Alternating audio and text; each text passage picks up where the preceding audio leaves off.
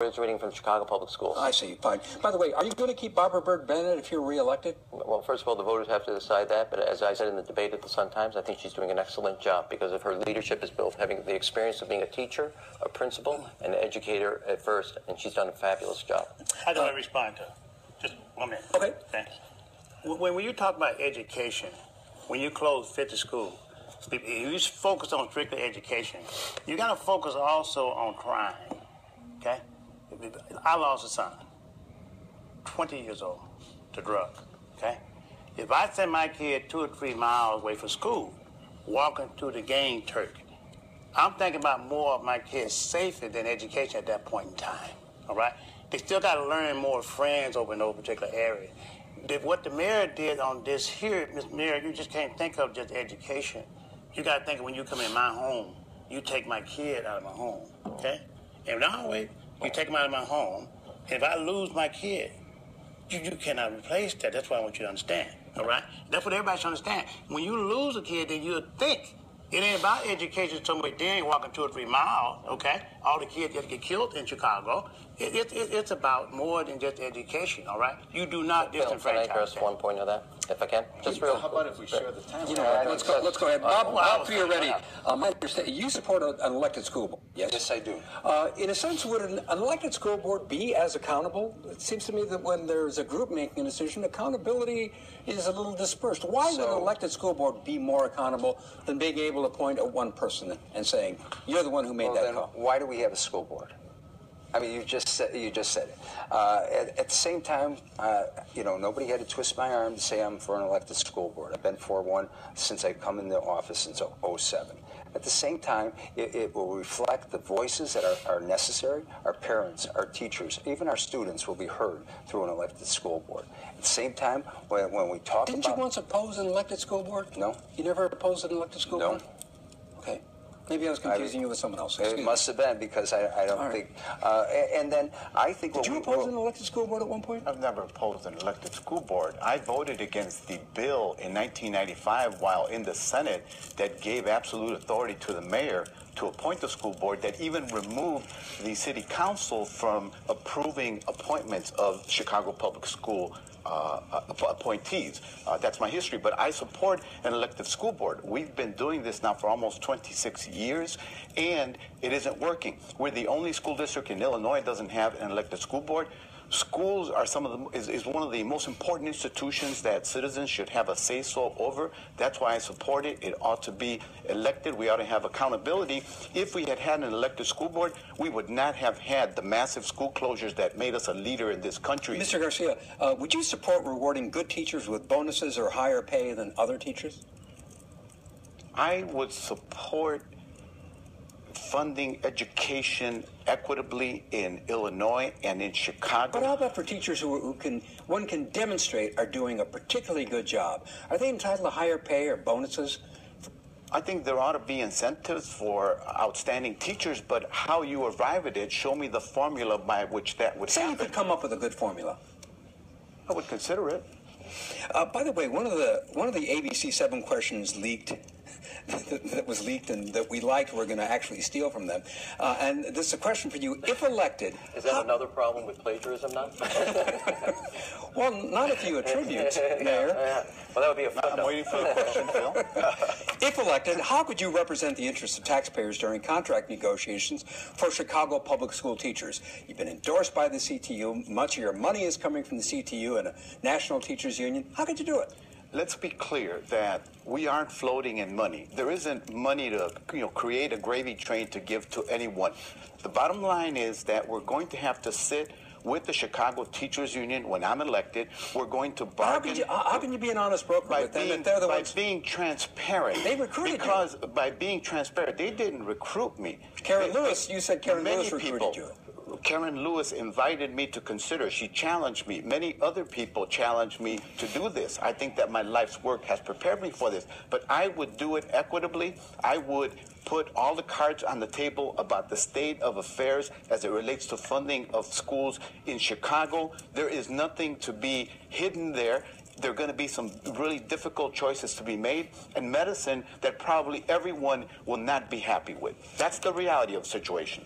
Uh, Mr. Mayor, before the City Club of uh, Chicago this week, uh, Karen Lewis said that it would take more money to retain teachers and avert a strike. What was your reaction to that? Well, the fact is, uh, our teachers are doing a tremendous job. They should take, and I believe they've done a tremendous job in making sure we have a full day of kindergarten for every child. We have a rising graduation rate, the best in the history of the city, best ACT scores ever, best attendance ever, and our kids in elementary levels are finally meeting and exceeding national standards in reading and math.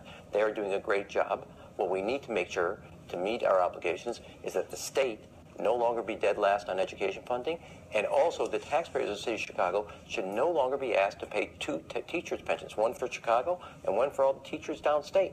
That inequity has got to come to an end, and it's costing us in this city of Chicago about five to six hundred million dollars that could go into supporting our schools. Mayor, that's the big picture, but in terms of the immediate picture, is the city looking at the prospect, the very real prospect of another teacher strike? No, I don't believe so. As you, your first question was about working through issues, and as I showed you, every contract's been worked through without arbitration. We've done it by be respecting the people on the party, but making sure it's a win-win situation for the public as well as for the people uh, that do the hard work representing either police, fire, or teachers. Now let's segue to another topic, and that's crime. Mr. Garcia, you support 1,000 more police officers, but you have been vague on how to pay for them. How would you pay for them?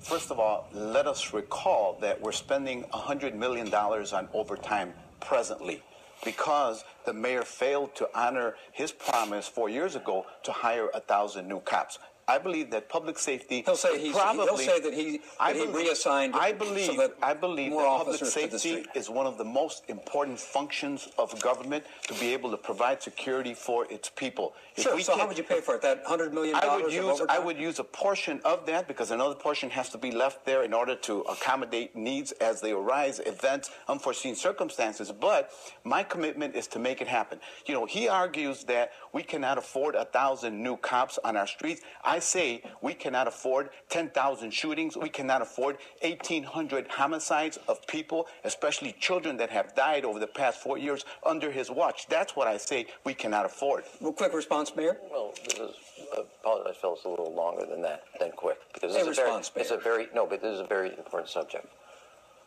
Too many kids in the city of Chicago have had the familiarity of gunfire, not the familiarity of laughter. We owe them their childhood that's being taken by violence. That's why I said cops cannot be behind desks, they gotta be back on the street. And we've moved them there. We've got to stop roving around and put community policing back in our police department. That's why we've dramatically increased our funding for after school and summer jobs. So every child has a safe place, a paycheck, and the values and the sense of responsibility that comes with it. But in addition, we are not going to stop this violence unless we strengthen our gun laws. Chicago now has the toughest ordinance in the country, a municipality for, for fighting guns.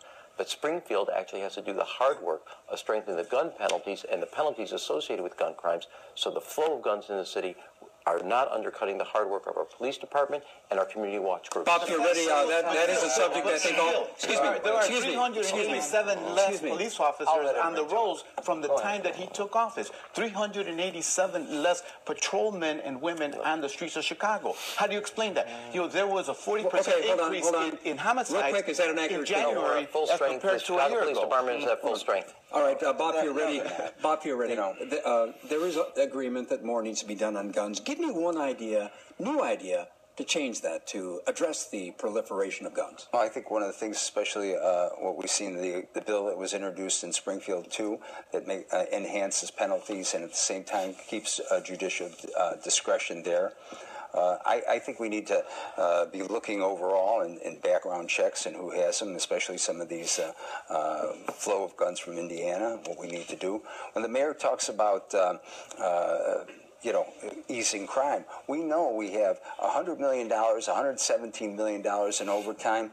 We know we have an underworked, uh, uh, understaffed, overworked uh, police department that needs help. Uh, you know, we can cut some of this overtime, hire new people, but at the same time, we found it in the budget uh, two years ago to hire 500 more police officers. We presented that uh, amendment to the budget, and it got shot down in five minutes. At the same time, uh, you know, the, the administration talks about all kinds of things that they've done. They need to give the resources to the, the men and women on the street, help them fight crime instead of worrying about press conferences that uh, exaggerate what they're doing and fudging the police st- statistics here. Let's uh, let's have another what, let, us have another round of quick hits uh, for all the candidates. Real quickly, uh, Chuy Garcia, when was the last time you used the CTA? Two weeks ago. Did the Ventra card work? Yes. All right. About two months ago, and yes, it did, even though uh, on other occasions I've had it that it doesn't work. When was the last time you used the CTA and did the Ventra card work? Uh, Ten years. Ten years. Mayor, when was the last time you used the CTA Tuesday and Monday, I take it twice a week to work. and did the Ventra card work? Always does. All right. Uh, do you give any money to panhandlers? Yes. Do you? No. No. No. Yes. Uh, name a book or movie or a piece of art that moves you. Uh, streetwise, though. Streetwise? I do buy- I do buy They're not panhandlers. They're uh, So, as they're long as entrepreneurs. okay. All right, fine. Good. Name a book, I know movie, or a piece of art that moves you, Chuy Garcia. The Picasso, Which one? The one at the Daley Center. Oh, that one. Yes, the big one. All right. Okay, good. Hard to miss. Bob, you ready? Um, Book, movie, or piece of art that moves you? well, I, I, I've been reading the uh, speeches of Martin Luther King. Last night I read the one for, uh, that he gave at the end of Selma. I haven't seen the movie, but it was uh, it had a profound effect, and I'm going through again his work. Willie Wilson, The Bible. the Bible, Mayor. Uh, the uh, Six to Six Million is a story of the Holocaust and the family's uh, elimination. Uh, should there be dogs in Maggie Daley Park? Willie Wilson. Dog wasn't allowed in my house when I was down south. I take that as a no. Bob, you're ready. Dogs in, da- uh, in Maggie Daley I Park. think we just leave it there, man. Okay, good enough. Not much more. Let's move on.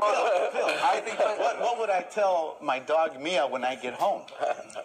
No? The answer No. is yes. That's between you and your dog. The answer is yes. There should have been a, a segment set up, up for a dog-friendly area there. All right. Uh, n- next one. Uh, Chicago Casino. Yes or no? No. Yes. Definitely. Only under the right conditions. Uh, May- Mayor, I had heard that uh, you'd done a you'd done a uh, you, you were having second thoughts because at one time weren't you pushing for Chicago Casino? Um, 'Cause- I was, it's, here's the thing. We brought our convention business back to we're now number one in creating 10,000 jobs in the hospitality.